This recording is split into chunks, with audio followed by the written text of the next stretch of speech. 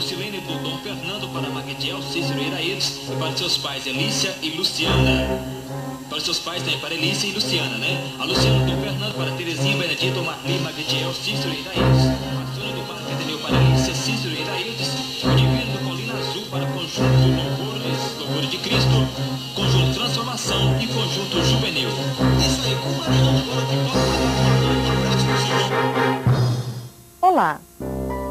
Neste vídeo, iremos tratar de um assunto muito sério, um assunto que fala do direito à vida, do direito à dignidade.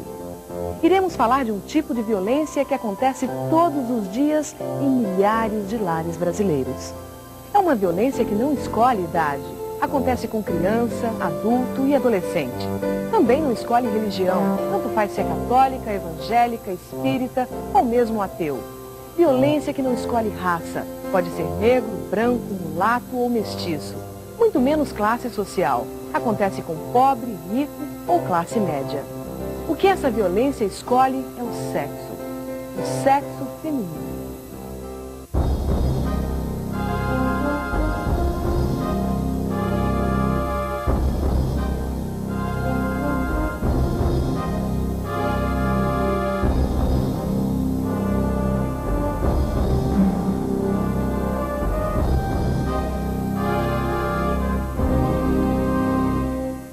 É uma das mais cruéis e covardes formas de violência, pois é praticada por pessoas da própria família, dentro de nossa própria casa.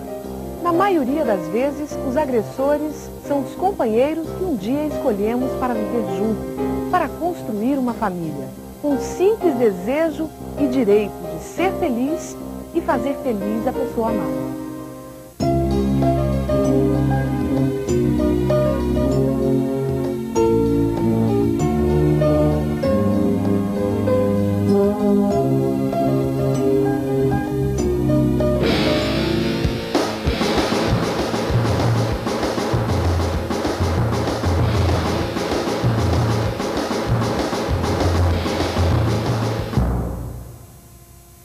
A violência doméstica contra a mulher é um crime e, como tal, precisa ser combatida com determinação e com a força do caráter que trazemos em nós.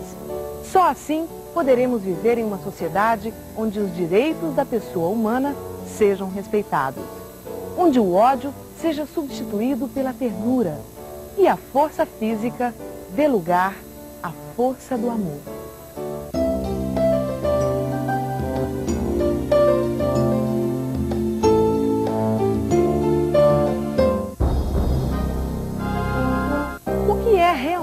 Realmente violência doméstica contra a mulher? Como fazer para não ser vítima dessa violência? Se ela acontece, o que nós, mulheres, devemos fazer? Para responder estas e outras perguntas, procuramos ouvir profissionais que estudam e trabalham com este assunto. Ouvimos também algumas pessoas que sofrem ou sofreram na pele esta atitude tão cruel e covarde. O que, que a senhora acha da violência dentro de casa? Violência, eu acho isso um absurdo, né? Acho muito feio, não, não admito, eu acho um absurdo. Acho que qualquer tipo de violência a gente abomina, né? Ainda mais a mulher, que é um ser tão especial, que dá todo apoio na casa do homem. Se a mulher está sofrendo esse tipo de coisa, ela tem mais é que denunciar, não ficar calada. A senhora já sofreu algum tipo de violência em casa? Não, às vezes bebia, né? Brigava, mas mais ou menos. Na minha adolescência teve agressão, né? Meu pai, minha mãe, então eu acho que isso foi é, fez eu pensar, né? É importante que todos possam estar atentos às diversas formas de violência que são vivenciadas dentro da família e que a mulher possa de fato estar contribuindo, a mulher, né, no caso, é, o marido também, enfim, todas as pessoas que é, compõem aquela família possam contribuir para que haja uma mudança desse modelo, porque a tendência é de que crianças né, que são criadas num lar onde impera a agressão, a tendência é de que mais tarde, quando adultos, eles venham a repetir esse modelo. O depoimento que veremos a seguir, como todos os outros, são verdadeiros. Somente os nomes foram mudados. São testemunhos de quem sonhou em ser feliz junto à pessoa amada, mas a dura realidade fez dos sonhos pesadelos. Meu ex-marido, ele começou a assediar a nossa filha, né? Mais velha. Então foi um processo que durou cinco anos sem eu descobrir. Só que eu perguntava e nada, nada ele me falava, né? Dizia que era uma loucura, que era invenção da minha cabeça, que eu estava enxergando coisas que não existiam. Até o momento que eu fraguei, ele deitado em cima dela, pelado. Quantos anos tinha sua filha na época? 11 anos de idade, 11 para 12. Tinha medo porque ele era um homem violento, né? Ele bebia, ele queria me matar, ele queria me bater.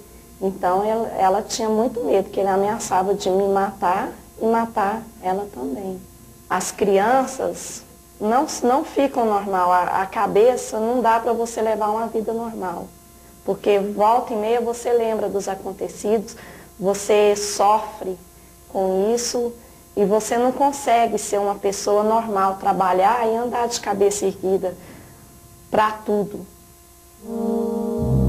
Quando eu chegava em casa, ele tinha a capacidade de falar que tinha ficado com outra mulher e me contava como é que ficava, sabe? Aquilo para mim era a coisa mais horrível que, que tinha, né? Mais é, humilhante que existia. Aconteceu pior, né? Porque além deles espancar elas, ainda abusava sexualmente delas. Ainda era pior ainda que comigo. Que eu, pelo menos, ainda era mulher, né? Apesar que ele abusava de mim também, né? Por, obrigar eu a fazer uma coisa que eu não estava afim de fazer mais. Mas tudo bem, eu sujeitava porque eu era esposa. Agora elas ser filhas, isso é um absurdo. O que mais me magoava é porque casei sonhando em ter um marido romântico, eu acho que todo, toda moça de 14, 15, 16 anos é o que pensa, né? E era o meu sonho, né? Casar com um homem que fosse romântico, que me tratasse bem, que eu vivia a minha vida inteira no, na casa dos outros. E sonhava.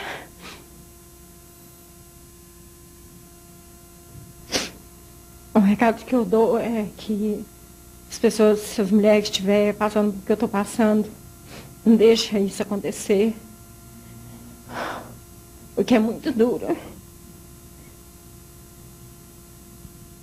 É necessário que a mulher e a família tomem consciência de que a violência é um processo. A violência física não ocorre repentinamente.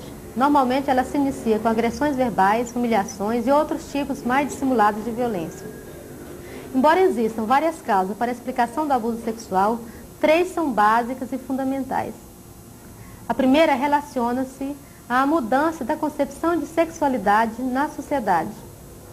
A segunda diz respeito à posição da criança de submissão e inferioridade frente ao adulto e à sociedade. A terceira causa relaciona-se ao tabu existente em torno da família, ou seja, há aquela ideia de que a família é sagrada e que, portanto, o que ocorre no seu interior não deve ser de conhecimento público, deve ser preservado. Pensamentos dessa natureza inibe a denúncia e encoraja o abusador. Denuncie, mulher. Rompa com o silêncio e com o medo. Defenda os direitos dos seus filhos e os seus direitos. Busque os órgãos competentes e denuncie. Proíbe. Proíbe. O que, que você acha disso? Olha, Eu acho que, não sei, acho que deve estar certo, né? Ela está pensando que é certo para mim, não é? Acho que sim, acho que está certo. Assim como a mulher adulta, a criança e a adolescente sofrem os mais diversos tipos de agressão. A violência sexual é uma delas.